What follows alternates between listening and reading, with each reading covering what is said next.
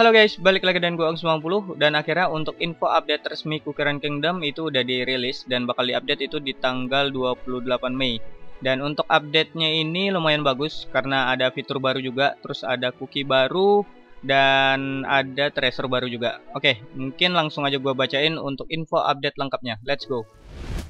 Oke guys, jadi untuk info resminya ini dari patch Run Kingdom yang ada di Facebook dan are you ready for the new update coming on May 28 jadi ini bakalan update tanggal 28 Mei. Dan untuk fitur barunya itu ini Sugar Genome Laboratory ini new feature dan ini kat katanya itu buat memperkuat dari cookie kita. Ini masih belum tahu untuk caranya gimana. Nanti mungkin bakalan kita tahu setelah dia rilis. Dan kita bisa ngebuka itu setelah kita upgrade the cookie castle to level 7 jadi kalau misalkan kalian di bawah level 7 itu masih belum bisa unlock Sugar Genome Laboratory, tapi kalau misalkan udah di level 7 ke atas itu udah bisa ngebuka. Dan di sini upgrade the laboratory to unlock new technologies. Ini leveling up the lab will require some ingredient and material. Jadi kayak ada bahan-bahannya gitu, guys. Dan only one technology can be researched at a time to start the research you will need to meet certain condition and use certain material. Jadi kalau misalkan kalian pengen nge-research itu butuh kayak semacam material juga. Katanya ini bakalan memperkuat cookie kita, tapi untuk caranya nanti bakal kita tahu aja. Terus di sini ada cookie baru, Red Velvet Cookie ini udah gua bahas kemarin. Sekarang time to grade Red Velvet Cookie dia charge cookie dan untuk skillnya itu namanya Crimson Hand skill to grab the rearmost enemy. Jadi dia kayak semacam ngincer si ini ngincer musuh yang terdekat gitu guys. Dan and bring in and bring it in front of the cookie squad dealing great damage and stunning for a short time. Jadi dia bisa nge-stun juga. Mungkin bakalan bagus banget untuk red velvet tapi untuk skill lengkapnya nanti mungkin kita bisa baca setelah dia rilis. Dan itu untuk uh, epic cookie yang baru sekarang ada cookie baru juga, dia tapi rare. Namanya itu Devil Cookie. Devil Cookie is a magic cookie who use his skill namanya itu Devilish Rune. To summon a rune dealing damage over time, dia ngasih DOT, damage over time. To enemy standing on it and reducing their attack speed and move speed. Jadi dia bisa ngurangin attack speed musuh sama move, uh, move speed musuh. Ini untuk Devil Cookie. Jadi dua cookie barunya ini yang pertama epic, terus yang kedua rare. Devil cookie ini kalau misalkan kalian pengen tahu ini dia. Untuk devil cookie dia udah ada di open break juga. Ini dia untuk penampakan dari devil cookie. Kalau misalkan untuk si red velvet mungkin kalian udah tahu juga. Mungkin nanti bakalan gini guys animasinya guys. Kalau misalkan kalian dapat. Nah ini dia untuk red velvet Nah, ini mungkin dia mukul pakai tangannya ini Crimson Hand. Terus dia bisa nge-stun juga. Nih, stunnya sih bakalan bagus banget nih. Tapi masih belum tahu untuk stunnya itu berapa detik. Terus bakalan kena satu tim kah atau cuman yang di depan doang? Kita bakal coba aja nanti. Kalau misalkan satu tim sih dan mungkin durasinya antara 3 atau 4 detik itu bakalan bagus banget. Kalau misalkan 3 detik itu udah sama kayak si ini guys. Si siapa namanya nih? Tiger Lily. Semoga aja sih lebih 4 detik atau ya 3 detik atau 4 detik juga udah lumayan banget guys. Tapi kalau misalkan untuk ngegantiin strawberry ini masih belum tahu apakah bisa ngegantiin strawberry atau bisa diduetin sama strawberry. Untuk si red velvet. Oke kita balik lagi Terus di sini ada tracer baru juga, ada tiga tracer baru. Yang pertama itu namanya Librarian Enhanced Robes, yaitu increase the attack speed of two cookies with the highest attack speed boss rate. Ini mungkin cocok banget untuk si pastry. Kayaknya sih lebih cocok sama untuk si pastry sama si siapa nih? Pokoknya uh, cookie-cookie yang ngandelin attack speed lah. Terus sini the cookies that will receive this boss may my very daring battle and if there are cookies with the same attack speed boss rate the effect will be applied to the cookie. Oh misalkan ada attack speednya yang sama setelah di boss rate ini mungkin mungkin dia bakal ke ini guys will be applied oh bakal ke apply ke highest attack yang attacknya paling tinggi. Terus untuk cookie kedua uh, untuk tracer kedua di sini namanya blind healer staff.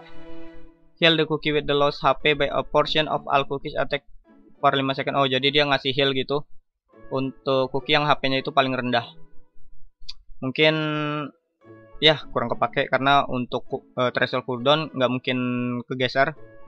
Terus untuk tracer ini untuk tracer yang old pilgrim itu nggak mungkin kegeser juga jadi kemungkinan yang kalau di arena yang defend itu yang tracer defend mungkin yang bakal kegeser antara yang di atas. Kalau misalkan kalian pengen attack speed dari cookie-cookie kalian kenceng atau kalau misalkan kalian pengen tambahan healer kalian bisa pakai blind healer staff. Sama satu lagi ini Ging Goblin Trophy Set ini untuk koin doang. Kayaknya nggak terlalu kepake juga. Tapi di sini nggak diliatin guys untuk uh, rarity-nya itu apa karena di sini cuman kayak namanya doang sama efeknya. Untuk rarity-nya kita masih belum tahu untuk treasure-nya. Ini Gang Goblin save attract coin during battle and provides extra coin after victory. Jadi dia bisa ngedapetin koin pas battle pas lagi battle sama setelah battle. Setelah kita menang. Terus ada lagi di sini new cookie bond story. Jadi kalau misalkan kita nggak dapetin devil cookie sama pasri cookie jadi bakalan ada bond story ini buat nambahin stat dari cookie-cookie kita guys. Ini berarti angel and devil terus oh angel and devil. Kita harus ngedapetin tiga ini. Pastry cookie devil cookie sama angel cookie. Oke okay, nice. Mungkin kalau misalkan devil cookie ini udah karena dia rare pasti dapat nantinya kalau misalkan kalian gacha si siapa namanya nih? Si red velvet jadi kemungkinan kalau misalkan kalian udah dapat pastry ini udah pasti dapat bond story-nya sih. Terus di sini ada lagi Tower of Sweet Chaos Reach Tray 150. Jadi kalau sekarang kalau nggak salah untuk yang tower itu cuman sampai di lantai 90. Kalau nggak salah ya. Dan sekarang udah ditambahin lagi sampai di lantai 150. Jadi tambah kuat nantinya musuhnya semakin ke atas semakin kuat guys. Terus di sini ada lagi Editiones and Change. Jadi tracer ini info of the cooldown, passive atau active effect. Ini tooltips will be add to the tracer details window. Jadi kayak semacam tambahan gitu supaya kita mudah buat bacain pasif atau aktif efeknya. Terus statnya juga bakal ke display nantinya di sini. Tracer stat will be display on the tracer list and in the tracer detail detail and tooltip. Nanti kita bakal lihat setelah dia dirubah. Terus untuk guild juga ada updatean. Today participant for guild battle will not appear in ascending order. Participant that have the same number partisipasi items will be sort based order order contribution. Jadi ini mungkin kayak semacam uh, display dari participant doang. Jadi kita bisa ngontrol tuh siapa-siapa aja yang udah partisipasi buat guildnya. Mungkin bakalan ditambahin apa-apa nanti bakal kita lihat aja setelah dia dirubah guys, di update. Jadi itu dia untuk update-nya semuanya. Yang paling gue tunggu sih Red Velvet Cookie sama yang di atas new fiturnya. Kalau misalkan untuk tracer kayaknya biasa aja untuk tracer-tracernya. Tapi untuk Red Velvet sama si ini fitur ini gue penasaran banget untuk yang Sugar Genome laboratorinya gimana buat memperkuat cookie kita katanya. Mungkin aja bakalan ini nih to make your cookie stronger. Berarti bakalan ngebuat cookie kita itu jadi kuat guys. Dan untuk penampakannya kalian bisa lihat di sini. Nah, ini dia untuk uh, Sugar Genome Laboratory. Penampakannya ini bagus banget, guys. Dan kalau misalkan berarti kalau misalkan kita semakin kita naikin levelnya mungkin bakalan semakin cepat buat researchnya. Oke okay guys, jadi segitu aja untuk info update kali ini. Jadi kalau misalkan kalian pengen ngedapatkan red velvet, jadi siapin untuk kristal kalian buat ngegacha red velvet cookie. Dan mungkin red velvet bakalan bagus banget bisa diduetin sama strawberry atau mungkin juga bisa ngeganti strawberry.